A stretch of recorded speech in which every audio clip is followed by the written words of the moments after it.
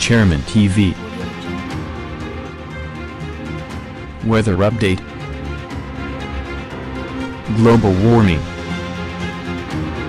Helping homeless people. Please subscribe. Magandang umaga po. Quick weather update po muna tayo para sa minomonitor nga natin na si Typhoon Udet. Kanina nga po no, na alas 7 ng ah, umaga, ito nga pong uh, pinakasentro nitong si ah, Typhoon Udet ay nasa 248 kilometer dito nga po sa eastern section ng Surigao del, del Sur. At ito nga po, no, tinataglay niya ang lakas na aabot ng 150 km per hour malapit sa gitna at may pagbugso nga po yan no, na aabot ng 185 km per hour. At ah, ito nga po ay kumikilos pa west north westward sa bilis na 25 km per hour. Kung mapapansin nga po natin ano nakakaapekto na nga po itong ah, si ah, Typhoon na Udet sa malaking bahagi ng Visayas at ng Mindanao at sa ngayon nga po no, ng mga oras na to ay nararanasan na po yung ah, bagsik nitong si Typhoon Udet. At ayon naman sa ating Japan Agency at ng NOAA na ito nga po si Typhoon Udet ay ah, bago tumama sa landmass dito nga somewhere in uh, Surigao, ito nga po ay may posibilidad na maging isang uh, super typhoon category. Ito nga po ay aabot ng 260 km per hour. Malapit po yan sa gitna. At uh, kung mapapansin nga po natin, ano, na bahagyang bumaba yung uh, uh, forecast track nitong uh, si uh, bagyong uh, Udet. At ito nga ay dadaan pa rin ng Bohol sa may Cebu City at lalabas pa rin po yan ng landmass ng Visayas at uh, typhoon category pa rin po siya pagdating dito sa may uh, Taytay, Palawan. At muling mag intensify po yan paglabas ng landmass ng uh, Palawan.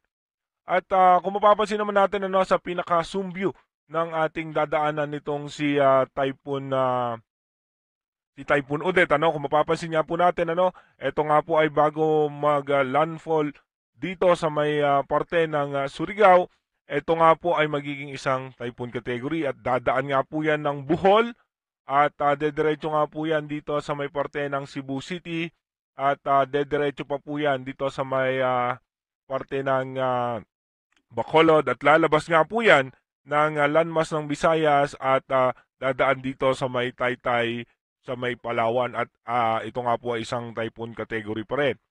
At uh, kung mapapansin nga po natin ano, sa satellite image nga po natin, yung uh, mata nitong uh, nasabing uh, bagyo ay uh, halos uh, nabubuo na nga po. Nakikita natin yung pinakamata na, ni uh, Typhoon uh, Udet. At uh, yung makakapal na kaulapan na yan at uh, yung may malakas na hangin ay nararanasan na po sa may Tacloban, sa may Silago, Surigao City at sa Kabad, uh, Kabadbaran, Bislig, Manay, Davao, uh, Cagayan de Oro, Cotabato, Pagadian, Dipolog at Dumaguete. Nararanasan na po yung masungit na panahon sa mga oras na ito. At ayon naman po sa ating bagong pag-asa DOST, itinaas na nga po ang storm wind signal number 3 sa mga lugar ng Dinagat Islands, Surigao del Norte, Southern Leyte, Bohol, at uh, eastern section ng Cebu, nakataas na po ang signal number 3.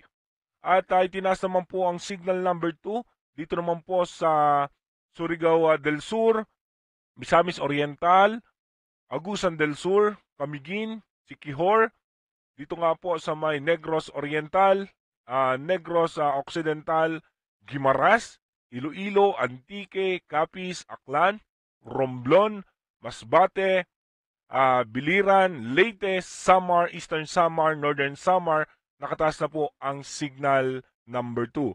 Ang signal number 1 naman po ay nakataas pa rin ano, dito sa Batangas, Quezon, sa Marinduque, Camarines Sur, Catanduanes, Albay, Sorsogon, Oriental Mindoro, Occidental Mindoro, dito naman po sa parte ng Palawan, sa may uh, Calamian Island, at maging dito naman po sa may uh, Mindanao, nakataas din ang signal number 1 sa Sambuanga del Norte, at sa may Sambuanga Sibugay, Sambuanga del Sur, Lanao del Norte, Lanao del uh, Sur, dito naman po sa Bukidnon, Davao del Norte at Davao de Oro. Iba yung pag-iingat na no, sa ating mga kababayan at uh, nararamdaman na nga po yung bagsik nitong si Typhoon Udet. Ulitin po natin, no, ayon nga po sa ating uh, Japan Agency at ng NOAA, ito nga po ay may posibilidad na maging isang ah, high intensity typhoon. Dahil nga po, ito nga po ay ah, almost super typhoon. Ito nga po ay mag-intensify into 260 km per hour ang lakas. Kaya iba yung pag-ingat na sa ating mga kababayan at ah, tayo po sana ay ah, nakapaghanda no para dito sa Bagyong Odette. Maraming salamat po. Mag-iingat tayo palagi.